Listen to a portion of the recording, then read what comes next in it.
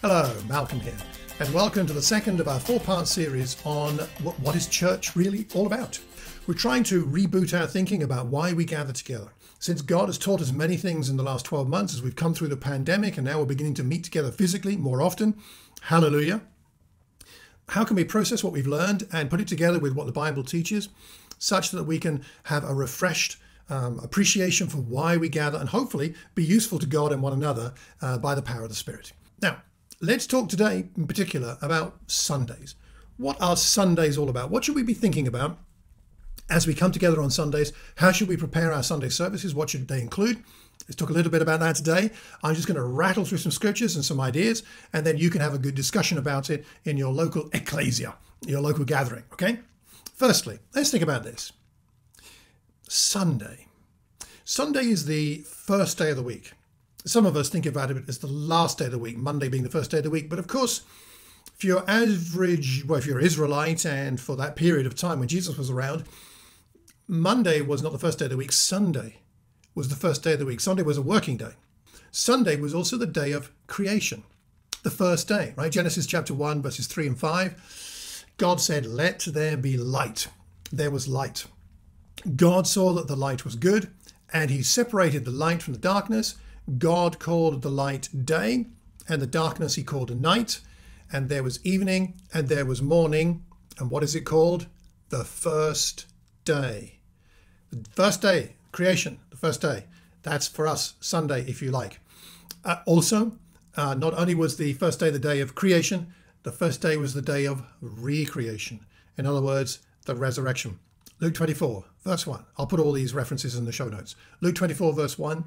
On the first day of the week, that's a Sunday, very early in the morning, the women took the spices they had prepared and went to the tomb. That's the day Jesus rose from the dead. It's the day the two disciples encountered Jesus, though they didn't know who he was, on the road to Emmaus in Luke 24 and verse 13. Now, that same day, the first day of the week, the two of them were going to a village called Emmaus, about seven miles from Jerusalem. And what happens on that day? They encounter Jesus, the resurrected Jesus, and they take the first communion on the first day of the week. We'll come back to that perhaps a little bit later. We see that the early church also met on the first day of the week. In Acts chapter 20, verse 7, on the first day of the week, we came together to do what? To break bread.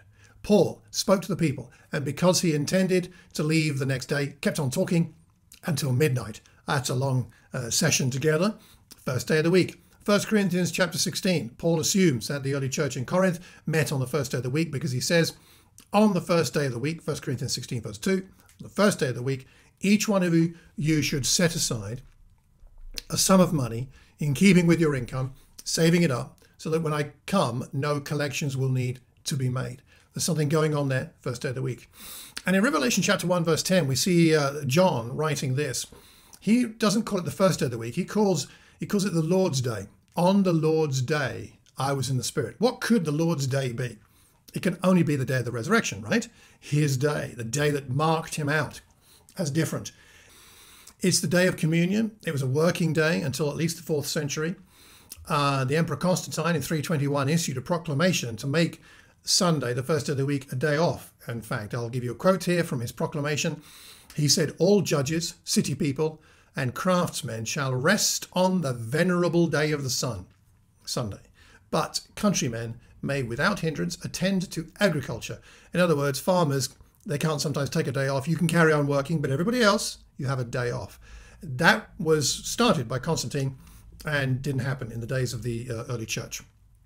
The eighth day is also in uh, Israelite thought uh, symbolic of what happens after the Messiah comes. So when the Messiah comes, it's the eighth day, it's the day after everything else, after the Sabbath rest.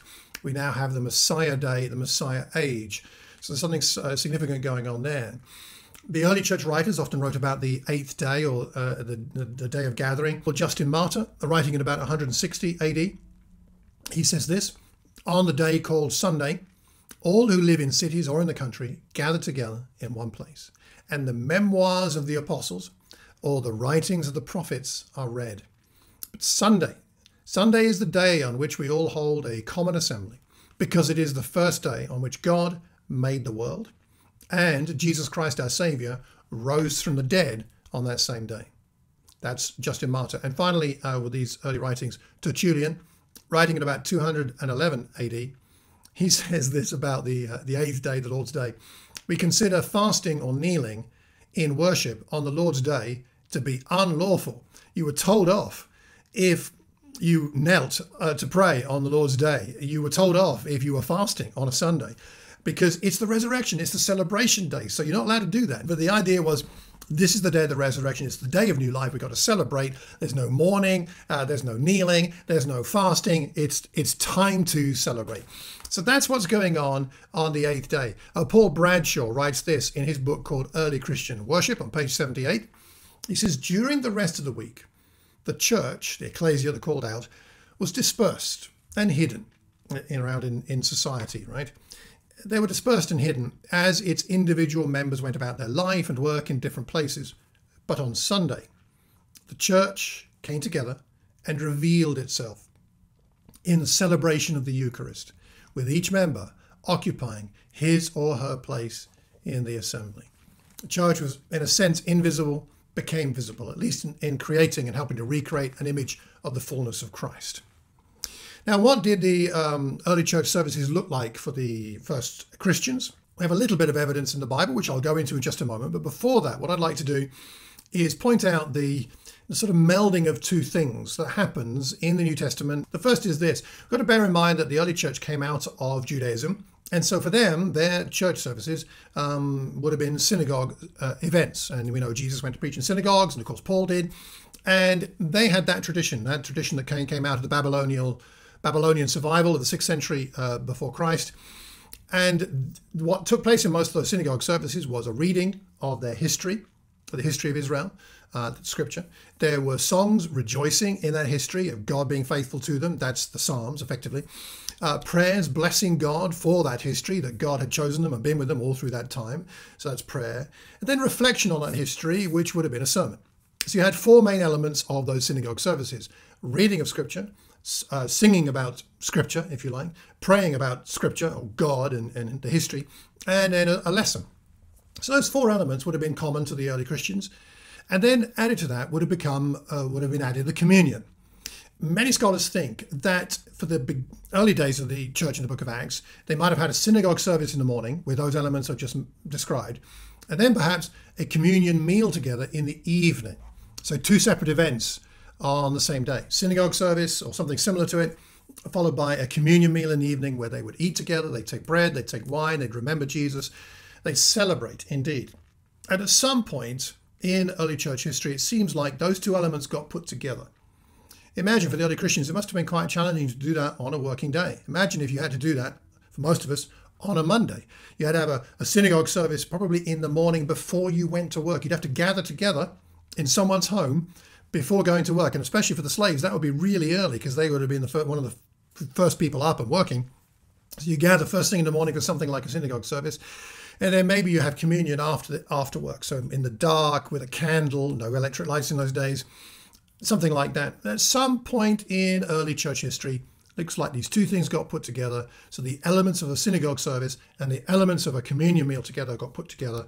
And uh, that's what it seems um, began to happen um, fairly early on, as far as we can tell. So, let me go into four elements of uh, Sunday gatherings that uh, we can think about for ourselves, what it means for us. So, what does Paul tell Timothy? First of all, let's talk about teaching. First of all, teaching. Paul tells Timothy in 1 Timothy chapter 4 verse 13 this. He says, "Until I come, devote yourself to the public reading of scripture, to preaching and to teaching." the public reading of scripture, preaching and teaching, probably doesn't mean um, street preaching. He probably means just in the assembly, reading out scripture and preaching about it and teaching about it. It seems that there was something uh, very important there that Paul wanted Timothy to make sure he didn't neglect, similar to the synagogue, with a great emphasis on teaching. Of course, we know that Jesus taught in the synagogues, and uh, he was also he was called the teacher amongst other titles. In Acts 20, which we've already referenced in verse 7, we find Paul speaking to the people and teaching there until after midnight. They've gathered on the first day of the week to break bread that evening, we talked about, and then he's also teaching there until gone midnight, or at least until midnight. A high value was placed in the early church on teaching and learning. We even see this in Acts 2, where they're devoted to the apostles' uh, teaching. So Teaching is a vital element of our gatherings whenever we gather, but it seems on a Sunday that's something that we see we see there. We also note back in Luke 24 when those two disciples meet Jesus that the first post resurrection communion also included scripture teaching because it says Jesus explained to them everything about Moses and the prophets uh, that they needed to understand about, about him. Teaching, communion, going together on the first day of the week.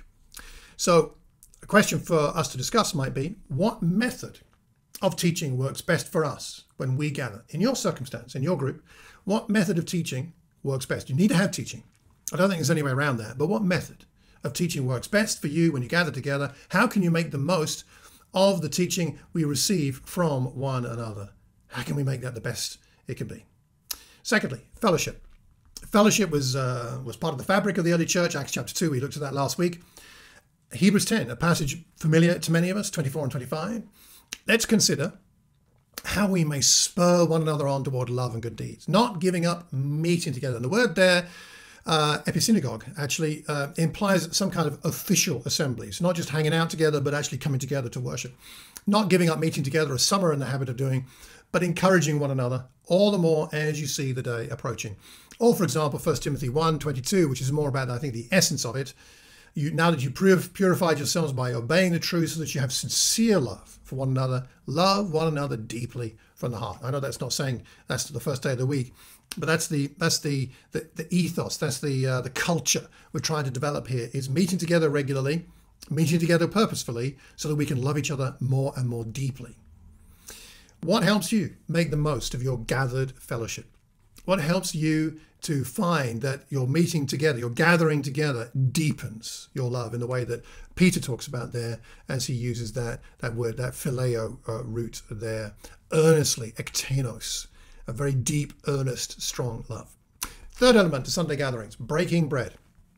Teaching, fellowship, breaking bread. Uh, Acts 20, we looked at already twice. They came together on the first day of the week to specifically break bread. It, that's I think eating together as a meal, but it's it's about communion surely because Jesus said, "Do this whenever you gather together in remembrance of me."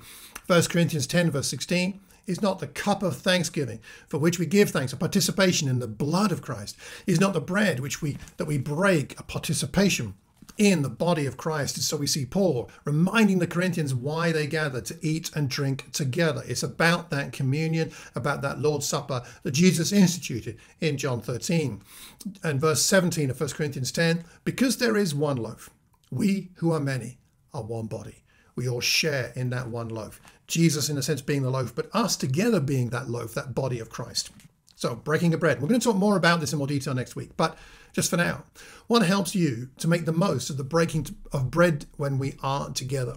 What helps it to be most meaningful to you? Not just that you're on your own, I mean, the fact that we gather to do it together. What makes that the most meaningful it can be for you? Thirdly, what I'm going to call vocal worship. And this is mostly about prayer and singing together. In 1 Corinthians 11, talking about their gatherings, which presumably are the Sunday gatherings, in verse 4 and verse 5, Paul says, Every man who prays or prophesies with his head covered dishonors his head. But every woman who prays or prophesies with her head uncovered dishonors her head. It is the same as having her head shaved. So what I won't get into the issue of head coverings, but what I would say there is he's assuming that the church gathers to pray, that men and women in the church gather to pray together when they are together on, on a Sunday. Or Colossians chapter 3, verse 16, let the message of Christ dwell among you richly as you teach and admonish one another with all wisdom through what? Psalms. And what are the Psalms? They're to be sung. The hymns, songs from the Spirit, singing to God with gratitude in your heart, but singing to God collectively, teaching and admonishing and uh, enriching one another. Colossians 3 16. So, for your local gatherings, the question might be in prayer and singing, which of these are most meaningful to you and why? Why does it matter to do this together, to pray together, to sing together? Why does it matter? And how can we make the most of it to enrich one another's faith and to, uh, to, to honor God and to praise Him and to tell the world something about him when people come and join us in our times of assembly. What will make that the most meaningful? Right, wrapping up.